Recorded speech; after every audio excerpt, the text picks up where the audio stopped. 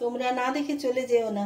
অনুষ্ঠান বাড়ি স্টাইলে ভেটকি মাছের আলু দিয়ে কারি অপূর্ব স্বাদের রেসিপি তোমাদের কাছে তাই নিয়ে এলাম। তোমরা তাহলে আমার এই ভেটকি মাছের রান্নাটা দেখতে থাকো, আমি কীভাবে বানাচ্ছি। হ্যালো বন্ধুরা, আমি সাপ্রিকা কুকিং ব্লগ থেকে তোমাদের স্বাগত জানাই। তাহলে ভেটকি মাছের আলু দিয়ে ঝোল বানাবো। তো ভেটকি মাছগুলো এই সাইজের ছটা আছে আর পেটি দুটো আছে। এইগুলো আমি নুন, হলুদ আর লঙ্কা গুঁড়ো একটুখানি তেল দিয়ে মেখে রেখে দিয়েছি। আর আলু তিনটে মাঝারি সাইজের এভাবে লম্বা লম্বা করে কেটে নিয়েছি। আর দুটো মাঝারি সাইজের পেঁয়াজ এইভাবে কুচিয়ে নিয়েছি। আর এখানে দশ কোয়া রসুন আছে আর একটুখানি আদা, এটাকে বেটে নেব। আর একটা টমেটো এরকম ছোট ছোট করে কুচিয়ে নিয়েছি।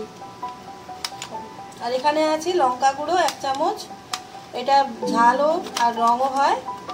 আর এখানে আছে এক চামচ হলুদ গুঁড়ো। আর এখানে দু চামচ দই এখানে হাফ চামচ চাল মগজ, আর ছটা কাজু। ভিজিয়ে রেখেছি, এটা বেটে নেব। আর এখানে আছে ধনে গুঁড়ো, জিরে গুঁড়ো, এক চামচ। আর দুটো কাঁচা লঙ্কা, কিছু ধনে পাতা। আর ফোড়নের জন্য দেবো এই দুটো এলাচ, দুটো লবঙ্গ, গোলমরিচ দুটো, আর একটুখানি দালচিনি আর এখানে আছে জিরে একটুখানি আর একটা লঙ্কা, তেজপাতা, এটা ফোড়ন দেবো। আর এটা রান্নার শেষে বেটে দেবো। গরম মশলা দুটো, ডালচিনি আর লবঙ্গ, দুটো তিনটে আর গোলমরিচ, এটাকে বেটে দেবো রান্নার শেষে। আর সর্ষের তেলে রান্নাটা হবে, আর নুন লাগছে। তো আমি রান্নাটা শুরু করছি। কড়াটা গরম হয়ে গেছে, পরিমাণ মতো তেল দিয়ে মাছগুলো ভেজে নেব।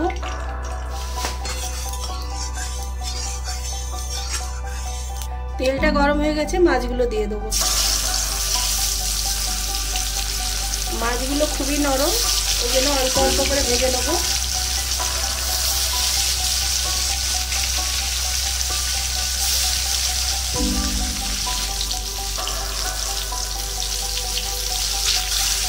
এক পিঠ ভাজা হয়ে গেছে মাছের উল্টে দেবো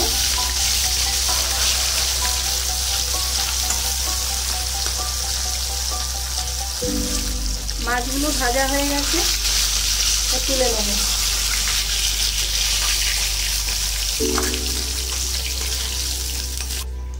এইভাবে বাকি সব মাছগুলো ভেজে নেব। মাছগুলো ভাজা হয়ে গেছে, ওই তেলের মধ্যেই আলুগুলো দিয়ে দেবো। আলুগুলো অল্প নুন, হলুদ একটু মাখিয়ে রেখেছিলাম, তাড়াতাড়ি সেদ্ধ হওয়ার জন্য।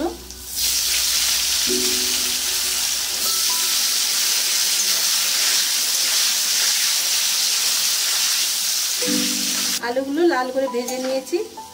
আলু সেদ্ধও হয়ে গেছে। আলুগুলো তুলে নেব।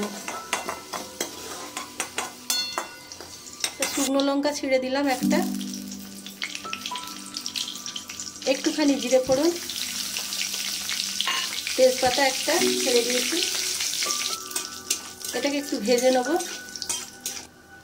ভাজা হয়ে গেছে, পেঁয়াজগুলো দিয়ে দেবো, পেঁয়াজ কুচানো।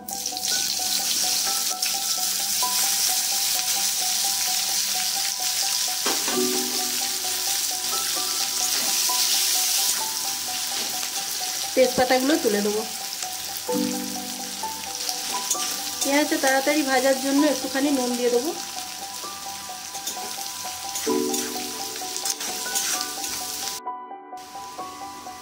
ছোট এলাচ, একটুখানি ডালচিনি আর লবঙ্গ, একটা দুটো দিয়ে দিলাম, ভুলে গেছি।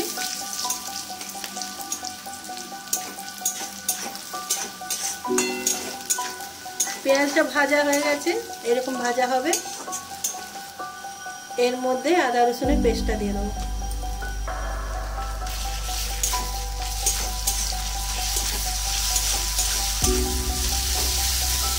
ভালো করে কষিয়ে নেব। আদা রসুনের কাঁচা গন্ধটা যাতে চলে যায়। এক মিনিটের মতন কষিয়ে নিয়েছি আদা রসুনটাকে। এবার এর মধ্যে একটুখানি জল দেবো। গুঁড়ো লঙ্কাটা দিয়ে দেবো। আর হলুদ গুঁড়োটা দিয়ে দেবো।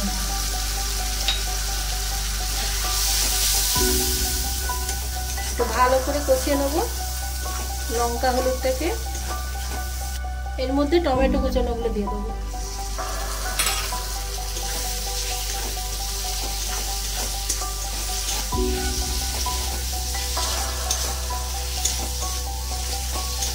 হাফ মিনিট কষিয়ে নিলাম। এবার কাজু চার মগজ বাটাটা দিয়ে দেবো। বাটি ধোয়া জলটাও দিয়ে দিলাম।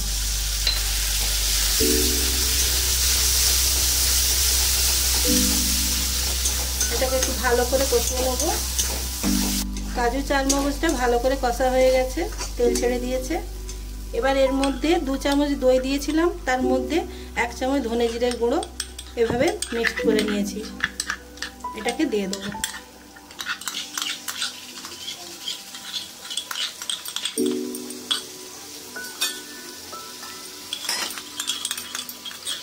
জল দিয়ে দিলাম একটু। এটাও ভালো করে কষিয়ে নেব।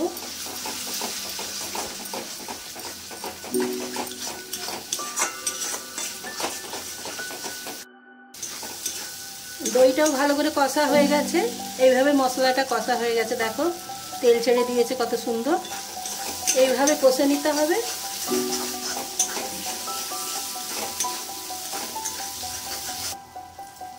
এবার এর মধ্যে হাফ চামচ কসুরি মেথি দিয়ে দেবো।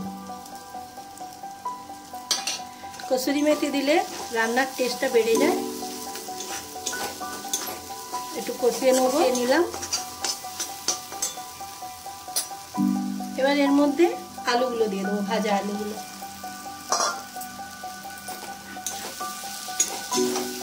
এগুলোকে একটু নেড়ে নেব। এর মধ্যে গরম জল দেবো। যতটা ঝোল লাগবে আলুগুলো তো সেদ্ধ হয়ে গেছে এটা মাখা মাখাই হবে, খুব ঝোল হবে না। এরকমই থাকবে। গরম জল দিলাম। ঠান্ডা জল দেবে না।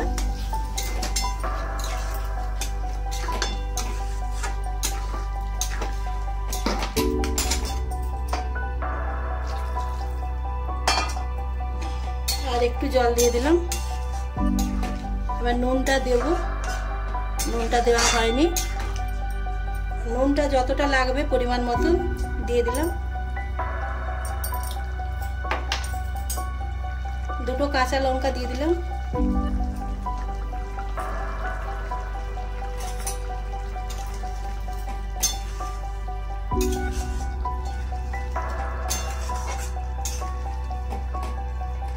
সিম করে এটা দু মিনিটের জন্য একটু ফুটিয়ে নেব।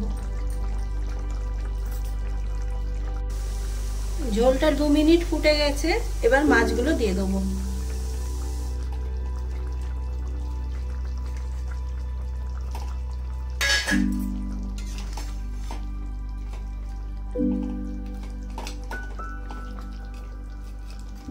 গ্যাসটায় সিম থাকবে, তো এবার মাছগুলো দিয়েছি, এবার ঢাকা দিয়ে দেবো। ঢাকা দিয়ে দেবো দু মিনিটের জন্য। দু মিনিট হয়ে গেছে, ঢাকাটা খুলে নিলাম। দেখো কালারটা কি সুন্দর এসেছে। এবার ধনে পাতা কোচনো দিয়ে দেবো। আর যে গরম মশলাটা বেটে রেখেছিলাম, দুটো ছোট এলাচ, লবঙ্গ আর ডালচিনি, ওটা দিয়ে দেবো। একটু গ্যাসটা বাড়িয়ে একটু ফুটিয়ে নেব। তিন চার সেকেন্ডের জন্য ফুটিয়ে নিলাম। এবার গ্যাসটা বন্ধ করে দেবো। গ্যাসটা বন্ধ করে দিয়েছি। এবার ঢাকা দিয়ে দিলাম, চার মিনিট পর আসছি। চার মিনিট পর ঢাকাটা খুলে তোমাদের দেখাচ্ছি। দেখো কি সুন্দর কালারটা এসেছে। তো তোমাদের যদি ভালো লেগে থাকে আমার এই রান্নাটা, তাহলে কমেন্ট করে জানাবে, লাইক, শেয়ার করবে। নতুন বন্ধু হলে সাবস্ক্রাইব করে আমার পাশে থাকবে। তো আজকের মতো আসছি।